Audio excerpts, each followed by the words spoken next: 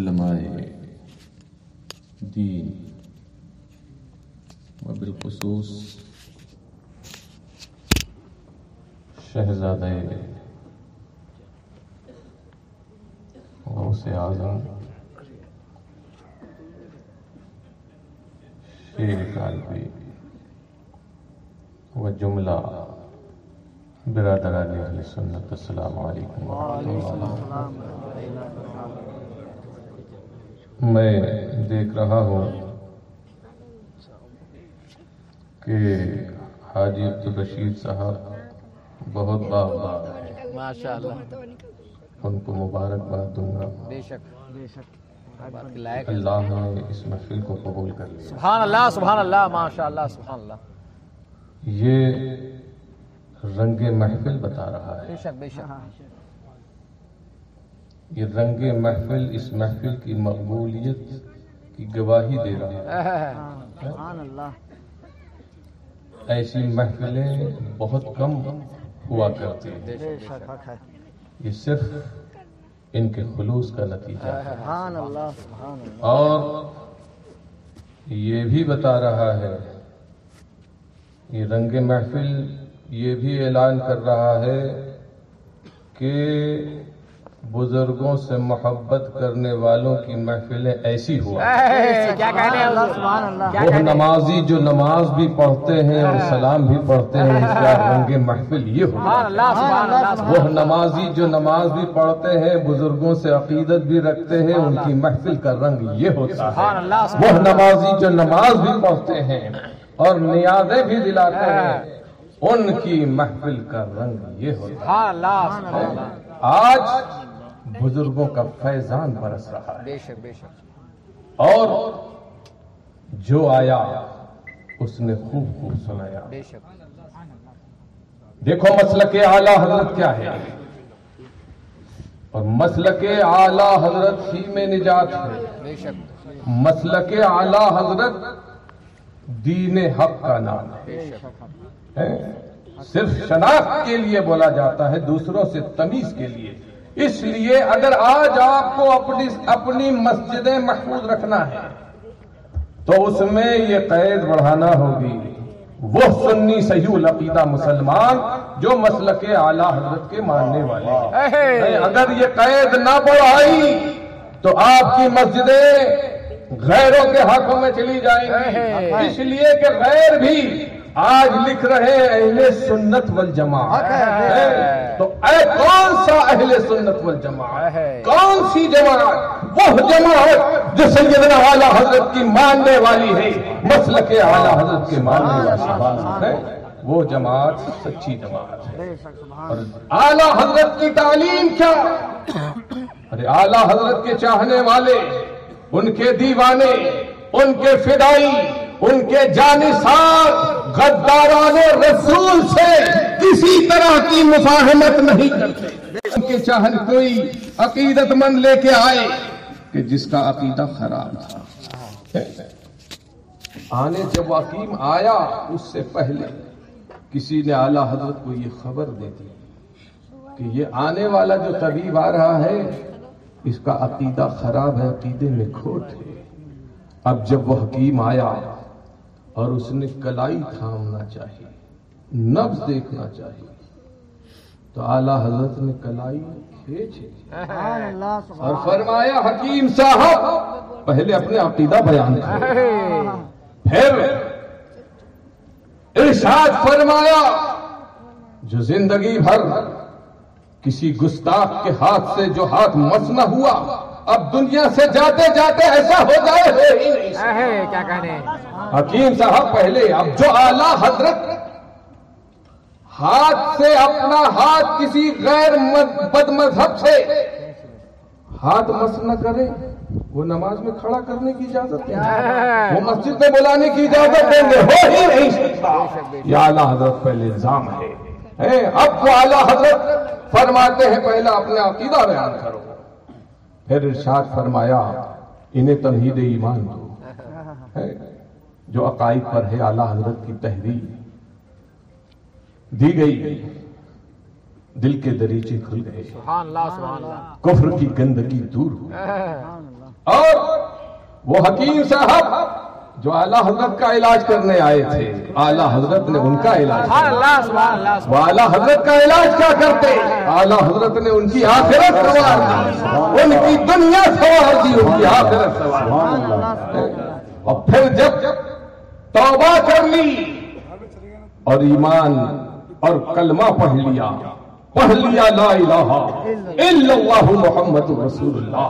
صلی اللہ تعالی علیہ وسلم. تو اب اعلیٰ حضرت فرماتے ہیں اب دیکھ سکتے ہو.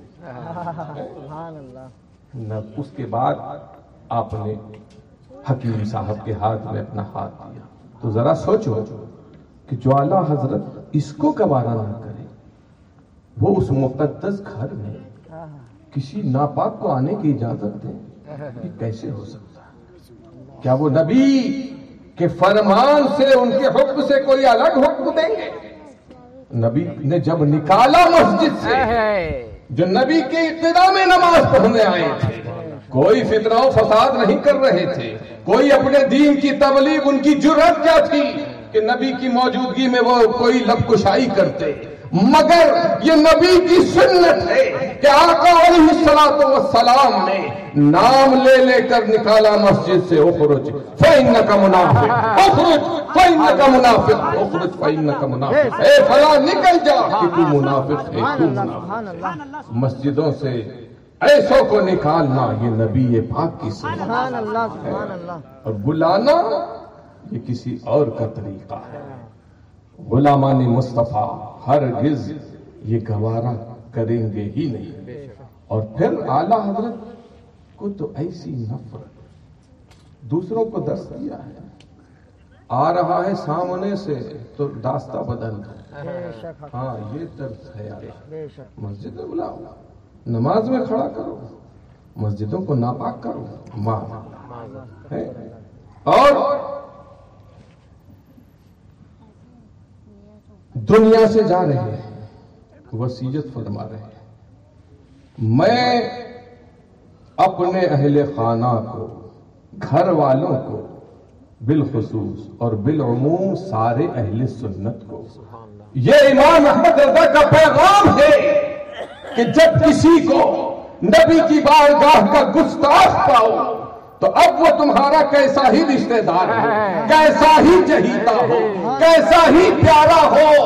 اب اس سے محبت رشتہ داری سب خط اور اسے ایسے اپنے سے دور کرو جیسے دودھ میں سے مکھی کو نکال کر پھینک دے رنگ پکڑو اور پھینک اللہ۔ دودھ میں سے مکھی کو نکال کر پھینکنے والی مثال بڑی عمدہ۔ بہت شاندار پیغام۔ دیکھو جب دودھ میں مکھی پڑ جائے کبھی اتفاق ہوا ہوگا۔ مکھیاں گھومتی رہتی ہے نا۔ تو فرماتے ہیں دودھ میں مکھی گر جائے۔ تو اب کوئی تاخیر نہیں، تعامل نہیں، سوچ، سوچنا نہیں۔ فوراً پکڑو اور پھینک دو۔ اور پھینکنے کے بعد جب پھینک دیا تو طبیعت کو ملال نہیں ہوتا۔ یہ کیا کیا؟ کیوں کیا؟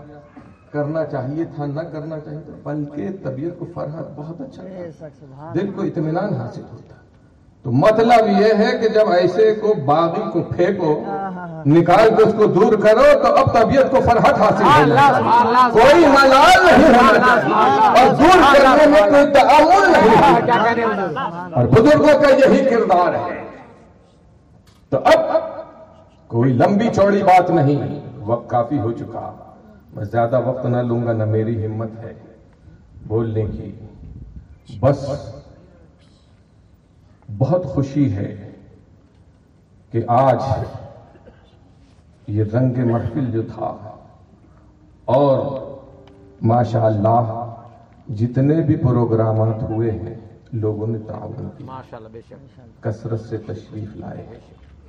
اللہ تعالی ہم سب کو حق بولنے حق سننے اور حق کو قبول کرنے کی توفیق۔ آمین آمین۔ اپنے ائمہ مساجد سے میں عرض کروں گا کہ یہ اپنے اپنی جگہ پر اہل سنت والجماعت اور مسلک اعلی حضرت کا جو پیغام ہے اسے عام کریں۔ بڑا آج کل گھال میل چل رہا ہے۔ وہی سلے کلیت ہے۔ اس میں ہماری بھی بربادی ہے اور قوم کی بھی بربادی ہے۔ نہ جانے کیا کیا ہو رہا ہے۔ پیری مریدی کے نام پر بہت کچھ ہو رہا ہے۔ اور ایسے ایسے لوگ پنپ رہے ہیں۔ اور وہ ان کو پروان بھی چڑھایا جا رہا ہے پالنے والے پال رہے ہیں۔ وہ بھی مجرم ہے کیسی کیسی بولیاں بولی جا رہی ہیں۔ جو ایسے بھی پیر خانے ہیں آج ہی کوئی صاحب مجھے سنا رہے تھے کہ ایک پیر صاحب مشہور آستانہ ہے کافی لوگ گھومتے پھرتے ہیں ان کے بنامے پیری مریدی ہے عالم یہ ہے کہ جلسے میں سب بیریش لوگ۔ کہا یہ جو شاعر صاحب گئے تھے ناد خواہ ان کو بڑی حیرت ہوئی کبھی ایسا موقع نہ ملا تھا۔ ایسا ماحول نہ دیکھا تھا کیونکہ وہ رضوی شاعر ہیں۔ رضوی ناد خواہ ہیں۔ اور اچھے جلسوں میں ایسے جلسوں میں بیٹھنے والے ہیں۔ حیرت ہوئی کیا ہے؟ تو کہا یہ سید زادے ہیں سب؟ اچھا۔ چلو اس کے بعد اب ایک خشخشی داڑھی والا کوئی آیا۔ تو وہاں پیر صاحب بھی موجود ہیں وہ بھی اٹھ کر کھڑے ہو گئے سارا مجمع کھڑا ہو گیا۔ اور یہ بھی ظلم بالائے ظلم یہ کہ جب انہوں نے کوئی شعر پڑھنا چاہا جس میں وہابی دیوبندی کی برائی تھی تو کہتے ارے نہیں کیا پڑھ رہے ہو؟ یہاں یہ نہیں چلتا یہ نہیں ہوتا ہے معاذ اللہ۔ تو کیا ہوتا ہے؟ یہ نہیں ہوتا ہے تو پھر کیا ہوتا ہے؟ دین کی تبلیغ نہیں ہوتی مصطفیٰ جان رحمت کے دشمنوں کا رد نہیں ہوتا ہے تو پھر کیا ہوتا ہے؟ یہی تو اصل دین ہے۔ بے شک۔ یہی تو اہم فریضہ ہے۔ دشمنوں کا رد دین کے دشمنوں کا رد یہ سب سے پہلے ہے۔ تو ایسے ایسے لوگ۔ تو پتا یہ چلا کہ وہ جو آنے والا آیا تھا وہ ایم ایل اے تھا اور وہابی تھا۔ اللہ اب بتاؤ ایسی خانقاہوں کا سے کیسے دین عام ہوگا؟ کیسے سنیت کا یہ باغ لہلائے گا؟ تو لہذا آپ اپنے اندر بیداری پیدا کیجیے۔ ادھر ادھر سب طرف مت بھاگیے۔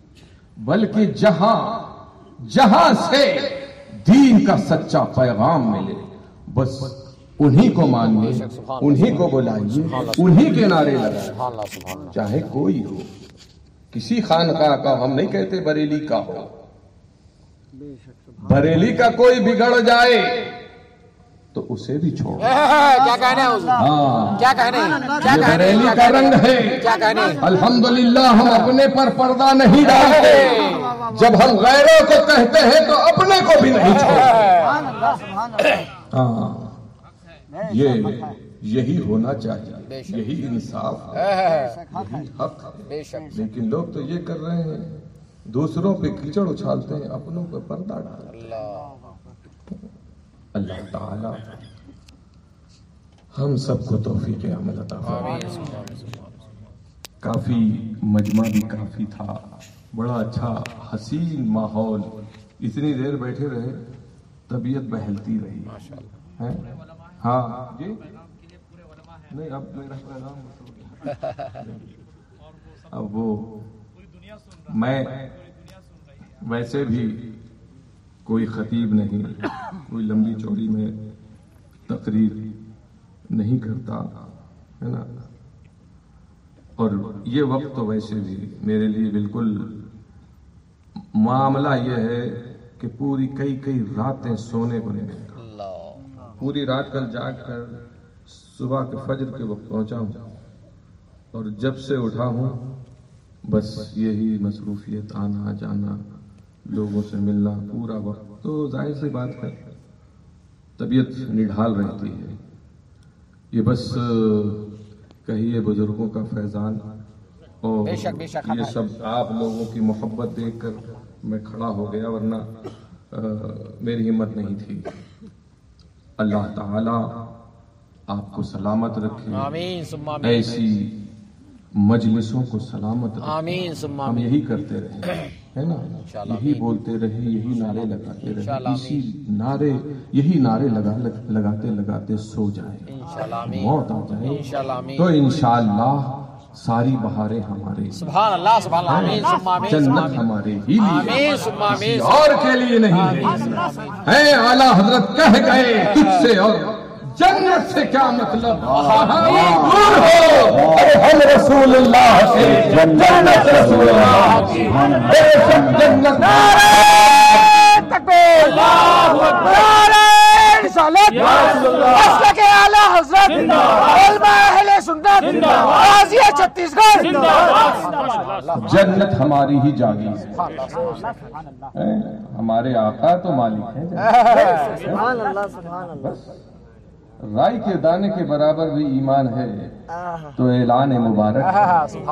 اس کے لیے جنت سزا رب سزا دے تو سزا پانے کے بعد اللہ سزا سے بھی بچائے ہاں اگر سچی محبت ہے نیاز فاتحہ کراتا ہے یہی اللہ قبول فرما لے تو وہ نیاز کی برکت سے نمازی بھی ہو جائے۔ وہ بزرگوں کے آستانوں سے کی برکت سے حاضری کی وہاں کی۔ برکت سے وہ بے نمازی نمازی ہو جائے۔ وہ بدعمل باعمل ہو جائے۔ وہ بدکار نیکوکار ہو جائے۔ اور اگر بھی دل بیمار ہے تو دل تندرست ہو جائے۔ اور عقیدہ خراب ہے بزرگوں کے آستانوں کی برکت سے اس کی برعقیدگی دور ہو جائے۔ مگر حاضر تو ہو۔ بزرگوں کی بارگاہوں کی حاضری ارے اعلیٰ حضرت نے لکھا ہے۔ یہ اعلیٰ حضرت کا پیغام کیوں نہیں سنایا جاتا اعلیٰ حضرت کا پیغام یہ ہے کہ جب کسی شہر میں جاؤ تو بازار ادھر ادھر مت گھومو۔ اللہ والوں کی بارگاہوں میں کیا کہنے کیا کہنے حق ہے۔ اس میں یہ قید نہیں ہے کہ جب نماز پڑھو تبھی جاؤ۔ ہاں مطلق فرمایا۔ اس میں یہ قید نہیں لگائی نماز نہیں پڑھتے ہو مزار پہ جائے گا تو کچھ نہیں ملنے والا کہیں بھاگ کہیں جا کسی آستانے پہ جا کچھ نہیں ملنے والا۔ رسول اللہ کے آستانے پہ جانا بھی جو ہے فرض و واجب نہیں مام اللہ۔ اعلیٰ حضرت فرماتے ہیں کہ کعبے کا نام نہ لیا۔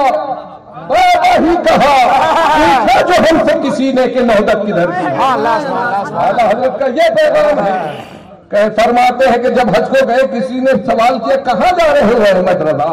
تو میں نے عرض کیا میں نے کہا کہ مصطفیٰ جانے رحمت کی بارگاہ میں پوچھا جو ہم سے کسی نے کہ نہدت کی؟ نہدت مطلب ارادہ۔ نہدت کی ہے؟ کعبے کا نام تک نہ لیا طیبہ ہی کہا۔ پوچھا جو ہم سے کسی نے کہ نہدت کدھر؟ ان کے تو فیل۔ حج بھی خدا نے کرا دیے ارے اصل و مراد حج بھی اس پاک در سبحان اللہ سبحان اصل اللہ و مراد حج بھی اس پاک در سبحان اللہ سبحان اللہ۔ اور اللہ اکبر۔ یا رسول اللہ۔ زندہ باد۔ زندہ باد۔ دوسرے حج میں اعلیٰ حضرت بیمار ہو گئے۔ اور مدینہ شریف حاضری نہیں ہوئی ہے۔ بے چین ہے اعلیٰ حضرت۔ سبحان اللہ۔ بے چین ہے علماء سے کہہ رہے ہیں، دعا کیجیے۔ جب تڑپ دیکھی، اعلیٰ حضرت کی بے چینی دیکھی، علماء نے تسلی دی۔ یہ حدیث پاک پڑھتے اعلیٰ حضرت، من حجہ ولم یزرنی فقط جفانی کہ جس نے حج کیا، میرے پاس نہ آیا، اس نے مجھ پر ظلم کیا۔ اللہ اللہ، یہ تو فرمان رسول ہے۔ سرکار بلا رہے ہیں۔ اور کہنے والا یہ کہے کہ وہاں کی حاضری بھی واجب فرض و واجب نہیں ہے۔ یہ کون سی فرض و واجب کی رٹ لگائی ہے تم نے؟ اعلیٰ حضرت تو یہ کہہ رہے ہیں۔ پھر کہتے ہیں ہاں تو علماء نے تسلی دی حضور۔ حدیث پاک کا یہ مفہوم نہیں ہے کہ جب جب حاضر ہو، جب جب حج کو آئے، تب تب حاضر ہو۔ اس کے مصداق آپ نہیں، پہلے حج میں آپ جب تشریف لائے تھے تو در رسول پر حاضر ہوئے تھے۔ اب یہ دوسری حاضری ہے، آپ کی اگر نہ پہنچ سکے تو کوئی ملال نہیں ہونا چاہیے۔ مگر اعلیٰ حضرت کا عشق دیکھو۔ اعلیٰ حضرت فرماتے ہیں، فقیر کے نزدیک اس حدیث پاک کا مفہوم یہ ہے کہ حاجی جب جب حاجی کرے نعرہ تکبیر نعرہ رسالت۔ فرماتے ہیں۔ علماء کرام سے کہ آپ حضرات دعا کیجیے میرے حق میں کہ کوئی صورت ہو جائے اللہ کرم فرما دے رسول کی عنایت ہو جائے اور یہ غلام مدینے پاک سبحان اللہ سبحان پھر بس درے پھر جو ہے گنبد خزرہ پر نگاہ پڑے خواہ احمد رضا کو پھر موت آ جائے۔ اللہ۔ یہ ہے اعلی حضرت کا عشق یہ ہے اعلی حضرت کی محبت۔ اللہ تعالی ہمیں مسلک اعلی حضرت پر پورے طور پر عمل کرنے کی توفیق اور یہ ادھر ادھر سب طرف بیٹھنا ہر اسٹیج پر جانا ہر محفل میں جانا یہ بھی بند کرنا چاہیے۔ میں ایسے لوگوں سے بچتا ہوں بالکل میرے دل سے اتر جاتا ہے جو ادھر بھی بیٹھے ادھر بھی بیٹھے۔ کھرا آدمی ہونا دین کے معاملے میں کوئی رعایت نہیں۔ اس کو حق کیا ہے امامت کا اس کو حق کیا ہے تبلیغ دین کا۔ جو خود جو تبلیغ جو جس کو خود اس اپنی اصلاح کی ضرورت ہے وہ دوسرے کی اصلاح کیا کرے؟ کیا کہنے کیا کہنے حضور؟ پہلے اپنی اصلاح کرے۔ تب۔ یہ بدعملی ایسی بدعملی ایسی خطرناک کہ اس سے برائی بری بدعملی کیا ہو سکتی؟ بے شک بے شک۔ دین کے معاملے میں ایسی سستی؟ دشمنوں میں جا کے بیٹھے اور تقریر کرے وہابیوں کے خلاف اور خود وہابیوں کی گود میں بیٹھے۔ یہ کون سا عوام اسی لیے بگڑ رہی ہے کہ دو گھنٹے تقریر کری وہابیت کے رد میں اور اس سے دور رہو اس سے دور رہو اس سے دور رہو خود جا کے بیٹھ گیا۔ کیا پیغام دیا تم نے؟ ایسے ہی لوگ برباد کر رہے ہیں۔ اللہ تعالی ہمیں دین پر استقامت عطا فرمائے۔ اور سچ اور مسلک اعلی حضرت پر گامزن فرمائے۔ وما علینا الا البلاغ۔ السلام علیکم۔